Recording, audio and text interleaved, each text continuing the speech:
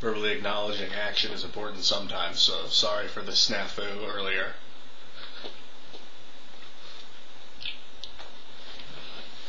Chapter 7 The Royal Banquet.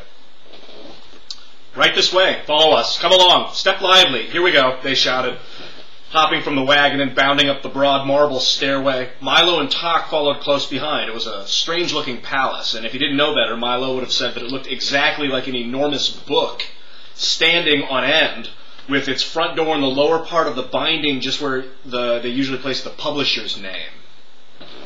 Once inside, they hurried down a long hallway which glittered with crystal chandeliers and echoed their footsteps. The walls and ceilings were covered with mirrors whose reflections danced dizzily along with them, and the footmen bowed coldly.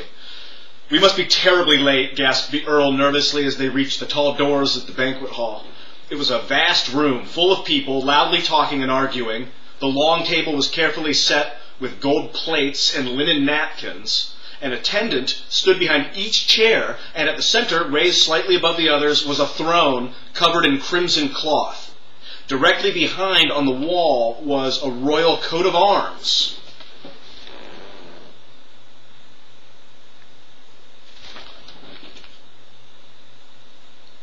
Flanked by flags of Dictionopolis. Milo noticed many of the people he'd seen in the marketplace. The letterman was busy explaining to an interested group the history of the W, and off in a corner, the humbug and the spelling bee were arguing fiercely about nothing at all. Officer Shrift wandered through the crowd suspiciously, muttering, Guilty, guilty, they're all guilty, and on noticing Milo brightened visibly and commented in passing, Is it six million years already? My, how time flies.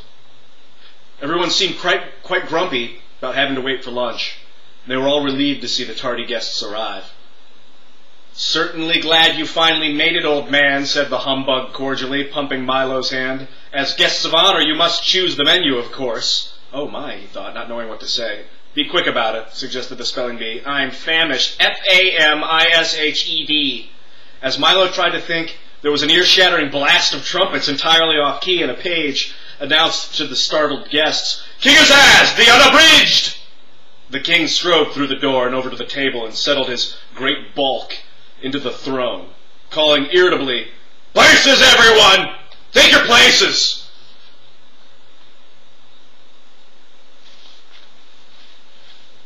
He was the largest man Milo had ever seen, with a great stomach large piercing eyes, a gray beard that reached to his waist, and a silver signet ring on the little finger on his left hand.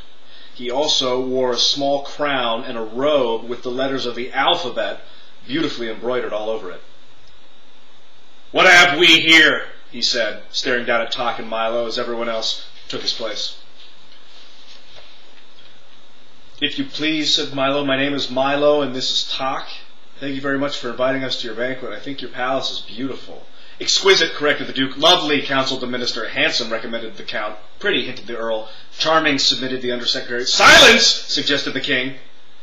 Now, young man, what can you do to entertain us?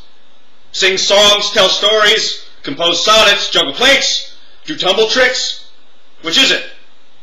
I can't do any of those things, Milo admitted. What, an ordinary little boy commented the king. Why, my cabinet members can do all sorts of things. The Duke, here, can make mountains out of molehills. The minister splits hairs. The Count makes hay while the sun shines. The Earl leaves no stone unturned. And the Undersecretary, he finished ominously, hangs by a thread. Can't you do anything at all?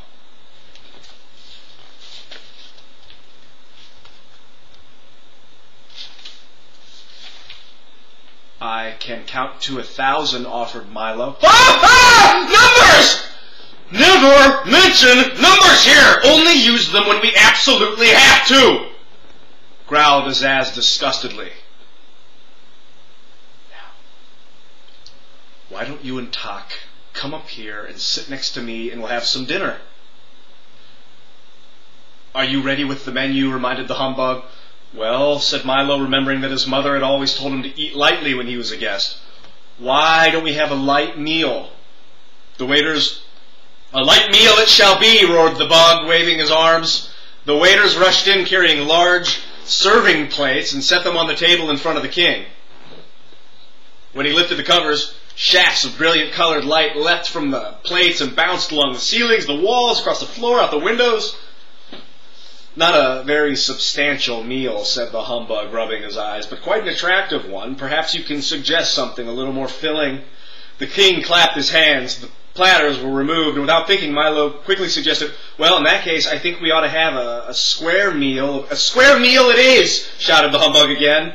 The king clapped his hands once more, and the waiters reappeared, carrying plates heaped high with steaming squares of all sizes and colors. Ah, said the spelling bee, tasting one. These are awful. No one else, no one else seemed to like them very much either, and the humbug got one caught in his throat and almost choked. Time for speeches, announced the king, as the plates were removed again. And everyone looked glum. You first. You first, he commanded, pointing to Milo. Your Majesty, ladies and gentlemen, started Milo timidly, I would like to take this opportunity to say that in all. The... That's quite enough, snapped the king. Mustn't take all day. But I've just begun, objected Milo. Next, bellowed the king. Roast turkey, mashed potatoes, vanilla ice cream, recited the humbug, bouncing up and down quickly. What a strange speech, thought Milo, for he'd heard many in the past and knew that they were supposed to be long and dull. Hamburgers, corn on the cob, chocolate pudding, P-U-D-D-I-N-G, said the spelling bee in his turn. Frank, Frankfurter sour pickle strawberry jam, shouted Officer Shrift from his chair. Since he was taller sitting than standing, he didn't bother to get up. And so down the line it went, with each guest rising briefly, making a short speech, and then resuming his, pal- his place. When everyone had finished, the king rose. Pâté de foie gras, soupe l'oignon, faisan sous clocher, salade endive, endive, fromage et fruits, et demi-tasse, he said carefully, and clapped his hands again. The waiters reappeared immediately, carrying heavy hot trays, which they set on the table. Each one contained the exact words spoken by the various guests, and they all began eating immediately with great gusto. Dig in, said the king, poking Milo with his elbow and looking disapprovingly at his plate. Can't say that I think much of your choice. I didn't know that I was going to have to eat my words, objected Milo. Of course, of course, everyone here does, the king grunted. You just made a tastier speech. Milo looked around at everyone busily stuffing himself and then back down at his own unappetizing plate. Certainly didn't look worth eating, and he was so very hungry. Here, try some somersault, suggested the Duke. It improves the flavor.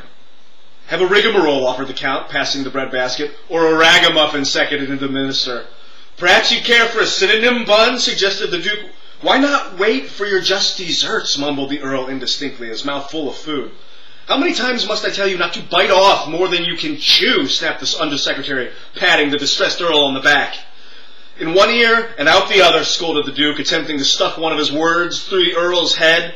If it isn't one thing, it's another, chided the minister, out of the frying pan into the fire, shouted the Count, burning himself badly.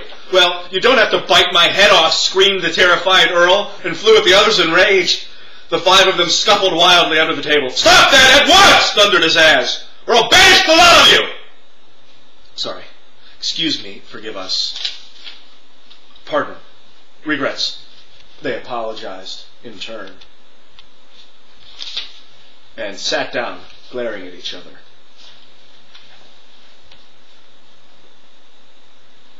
The rest of the meal was finished in silence till the king, wiping the gravy stains from his vest, called for dessert. Milo, who'd not eaten anything, looked up eagerly. We're having a special treat today, said the king, as the delicious smells of homemade pastry filled the banquet hall. By royal command, the pastry chefs have worked all night in the half bakery to make sure that the half bakery? questioned Milo. Of course, the half bakery, snapped the king. Where do you think the half baked ideas come from? Now please, don't interrupt. By royal command, the pastry chefs have worked all night to... What's a half-baked idea? asked Milo again. Will you be quiet? growled Azaz angrily, but before he could begin again, three large serving carts were wheeled into the hall, and everyone jumped up to help themselves. They're very tasty, explained the humbug, but they don't always agree with you. Here's one thing that's very good. He handed it to Milo, and through the icing and nuts, Milo saw that it said, The earth is flat. People swallowed that one for years, commented the spelling bee, but it's not very popular these days, D A Y S. He picked up a long one that stated, The moon is made of green cheese, and hungrily bit off the part that said, Cheese. Now there's a half-baked idea, he said, smiling. Milo looked at the great assortment of cakes, which were being eaten almost as quickly as anyone could read them. The count was munching contentedly on It Never Rains But It Pours, and the king was busy slicing one that said, Night air is bad air. I wouldn't eat too many of those if I were you, advised Tock. They, they may look good, but you can get terribly sick of them. Don't worry, Milo replied. I'll just wrap one up for later. And he folded the napkin around. Everything happens for the best. End of chapter 7.